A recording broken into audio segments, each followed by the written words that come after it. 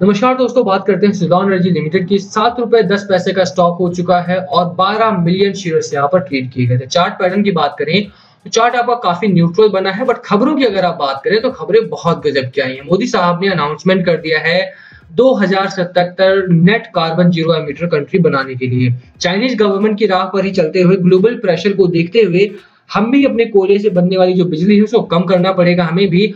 और उसी राह में रिन्यूअल सेक्टर में काफ़ी बड़ी इन्वेस्टमेंट आने की घोषणा भी हो गई है। यानी कि सुजलॉन जैसी कंपनीज़ में जो विंड एनर्जी हार्नेस करते हैं या फिर ऊर्जा ग्लोबल जैसी कंपनी जो सोलर एनर्जी हार्नेस करते हैं, इनमें इन्वेस्टमेंट बढ़ेगी अब। बात करेंगे इस वीडियो में कि सुजलॉन में कहाँ तक स्टॉक का टारगेट बन सकता है। लंबे समय के लिए अगर आप स्टॉक को रखते हैं, क्योंकि यहाँ पर गवर्नमेंट ने 2030 तक इन्वेस्टमेंट भी बढ़ाना है रिन्यूएबल सेक्टर से बनने वाली बिजली भी बढ़ानी है और जो नेट प्लांट लगे हुए हैं हमारे यहाँ पर, उनका भी बढ़ाना है। तो कहीं ना कहीं यहाँ पर इन्वेस्टमेंट बढ़ेगी तो उसे सुलोन का स्टॉक प्राइस भी बहुत तेज़ी से भागने की उम्मीद आपको करनी चाहिए। इस हफ़्ते में एक अच्छी रैली की शुरुआत हो सकती है। इस हफ़्ते का मोमेंटम कैसा रहेगा? आने वाले एक साल, दो साल, तीन साल अगर आप स्टॉक को रखते हैं तो क्या टारगेट लेकर के चले? उसकी बात भी करेंगे इस वीडियो में। चलिए शुरू करते हैं। उससे पहले अगर आप चैनल पे नए हो तो प्लीज़ चैनल को subscribe and hit the bell icon ताकि आपको नोटिफिकेशन मिल सके। चलिए शुरू करते हैं। बात करें सुलॉन की, एक बेहतरीन कंपनी है, विंड एनर्जी में काम करती है, बहुत पुरानी कंपनी है, मैं कहूँगा यहाँ पे, और एक्सपीरियंस काफ़ी अच्छा है। जिस तरह से रिसेंटली गवर्नमेंट ने जो एनवायरमेंटल डिग्रेडेशन हुआ है, और दिवाली पे आप देखिए कि इन्वायरमेंट पोल्यूशन जो हुआ है, बहुत सारे लोगों का अलग अलग मानना है, मैं इसमें कोई मत नहीं दे रहा हूँ, पटाखे फोड़ने चाहिए थे या नहीं फोड़ने चाहिए थे बट श्योरली यहाँ पे अगर आप देखोगे तो इन्वायरमेंट में जो फ़र्क पड़ता, पड़ा है, उसको देखते हुए गवर्नमेंट ने कोयले से बनने वाली जो बिजली है, उसका जो स्तर है, वो कम करने की कोशिश की है। मोदी साहब ने ऑलरेडी यहाँ पर अनाउंस कर दिया है कि अगर हमें जो पॉल्यूशन है उसको कम करना है तो अब स्टेप लेना पड़ेगा। और चाइनीज़ गवर्नमेंट ने जिस तरह से अनाउंसमेंट किया था कि 2050 तक वो लोग net carbon zero emitter country बनेंगे, उसी राह पर हमने 20 साल आगे का समय दिया है और 2070 तक का टाइम फिक्स कर दिया है यहाँ पे अपना कार्बन एमिशन कम करने के लिए, शून्य करने के लिए। अभी अगर हमें वहाँ पर शून्य करना है तो हमें बड़ी पॉलिसीज़ फॉर्म करनी पड़ेंगी। अब इतने बड़े कॉन्क्लेव में अगर मोदी साहब ने बोला है तो उसके ऊपर एक्शन लेना पड़ेगा।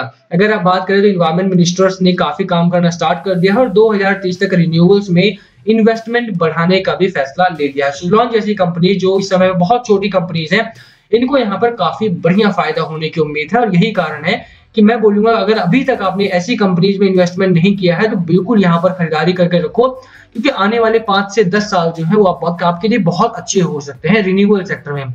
इलेक्ट्रिसिटी का जो इंटेक है वो बढ़ रहा है। इलेक्ट्रिसिटी आप देखिए कार्स में आ चुकी है अभी। हम यहाँ पर तेलों का जो यूज़ है वो कम कर रहे हैं। वैसे कोयले का जो कंजम्पशन है वो भी कम किया जाएगा। डिमांड बढ़ी है। रिसेंटली बट दैट्स बिकॉज़ ये लॉकडाउन वगैरह था, उसकी वजह से हुआ है ऐसा। इस समय पे अगर आप बात करें तो कहीं ना कहीं रिन्यूअल्स का जो एक उत्पादन है, वो बढ़ाने की बात की जा रही है और ऐसे में आपको सुजलॉन जैसी कंपनीज़ में निवेश करना चाहिए। सबसे पहले देखते हैं कि चार्ट क्या कहता है। आपका क्या चार्ट खरीदारी करने लायक है या नहीं? देखिए, अगर आप रिसेंटली देखें तो इस पॉइंट से गिरावट हुई थी।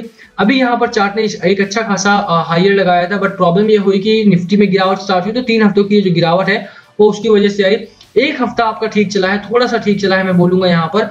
और अब यहाँ से दोबारा से बाज़ार जो है आपका, वो तेज़ी में आता हुआ दिखाई दे सकता है। सपोर्ट की बात करें तो बाज़ार का जो इस समय का सपोर्ट है, वो अराउंड यहीं पर है। छह रुपए साठ पैसे के आसपास, छह रुपए पैंसठ पैसे के आसपास का जो पहला टारगेट मिलने वाला है आपको, वो आठ रुपए चालीस पैसे का है। शॉर्ट टर्म के लिए मैं रिकमेंड बिल्कुल नहीं करूँगा इस स्टॉक को बट यस अगर आप लॉन्गर पीरियड के लिए स्टॉक को रखना चाहते हैं तो बिल्कुल यहाँ पर खरीदारी करके चलो, क्योंकि ऐसा स्टॉक आपको दोबारा नहीं मिलेगा। जिस तरह की नई खबरें इस समय पे आई हैं, आप देखो कि मोदी साहब ने जो इन्वायरमेंटल कॉन्क्लेव में बोला है, उसका काफ़ी असर पड़ने वाला है इस हफ़्ते की ट्रेडिंग पे। इस हफ़्ते में स्टॉक आपका भागता हुआ दिखाई दे सकता है। तो सबसे पहले खरीदारी करनी है आपको सात रुपए दस पैसे के आसपास अगर गिरावट होती है तो छह रुपए साठ पैसे के आसपास उसको एवरेज कीजिए। आठ रुपए चालीस पैसे के आसपास का आपका पहला टारगेट रहने वाला है, ठीक है? आरएसआई की बात करें, पचपन पचपन का आरएसआई है, यानी कि एक अच्छा स्ट्रॉन्ग आरएसआई है और मैगडी आपका स्ट्रॉन्गली बुल रन में है। हिस्टोग्राम आपके अपर साइड लोअर साइड बीच में है, यानी कि बायर्स और सेलर्स के बीच में जंग है, वो जारी है और यहाँ पर बायर्स जो है, वो जीतते हुए आपको इस हफ़्ते में दिखाई देंगे। दैट्स बिकॉज़ कि इस समय जो खबरें आ रही हैं, जो पॉलिसीज़ फॉर्म की जा रही है इन्वायरमेंटल मिनिस्टर का जो बयान आया है, उसको देखते हुए रिन्यूएबल्स में जो इन्वेस्टमेंट है, वो तगड़ी बढ़ने वाली है।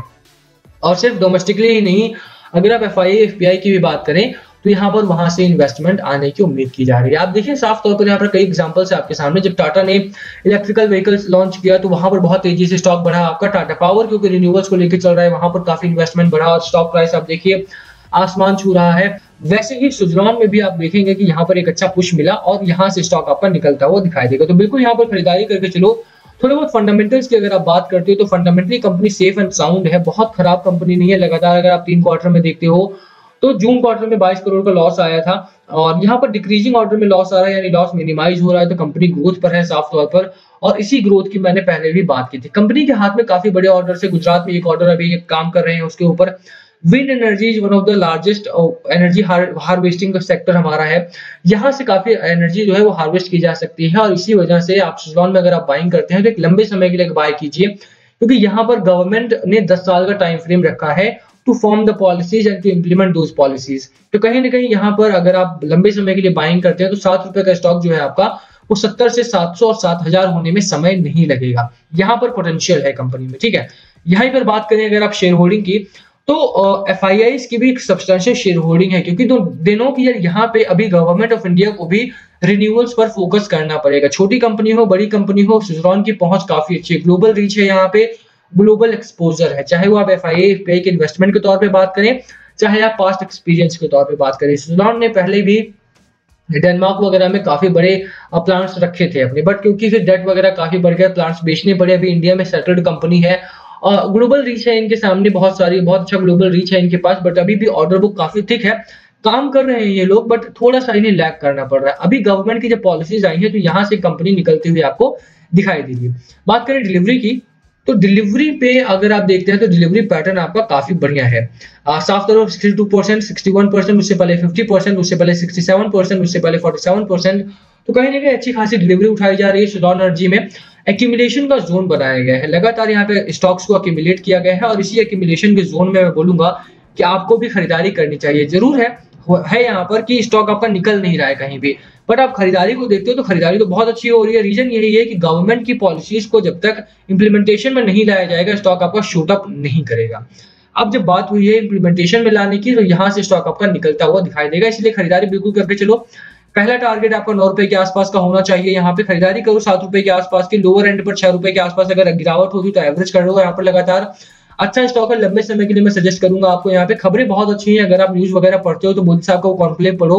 अनाउंसमेंट काफ़ी अच्छी हुई है। 2070 तक net carbon zero emitter country बनाएँगे हम अपने देश को। और इसी वजह से कोयले का जो यूज़ है और गैस वगैरह का यूज़ है, उसको भी कम किया जाएगा। यानी जो गाड़ियों में से आप जो पेट्रोलियम पदार्थ हैं, उनको भी कम किया जाएगा। तो यहाँ पर साफ़ तौर पर रिन्यूअल्स का भरोसा होने वाला है तो रिन्यूअल्स में एनर्जी इन्वेस्टमेंट करके चलो आप यहाँ पे, बाज़ार काफ़ी अच्छा चल रहा है, बाज़ार अगर वॉलेटाइल होता है तो स्टॉक आपका न्यूट्रल जाता हुआ दिखाई दे सकता है but that's that's the time that you have to hold the stock ठीक है?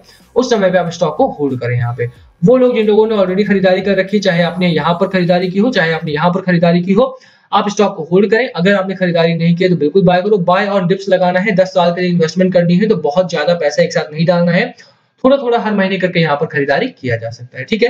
तो खरीदारी करने की सलाह रहेगी। लंबे समय के लिए खरीदारी करो अच्छा रहेगा आपके लिए। यहाँ पर प्रॉफिटेबल बिज़नेस हो सकता है। बाकी लास्ट कॉल आपका है। क्या करना है, क्या है स्ट्रैटेजी आपकी स्टॉक को लेकर के? प्लीज़ कमेंट करके शेयर करना। वीडियो ही खत्म करते हैं। पसंद आए तो लाइक करना। चैनल पे नए हो तो सब्सक्राइब के बिना मत जाना। Thank you for watching and please comment पूछना हो तो।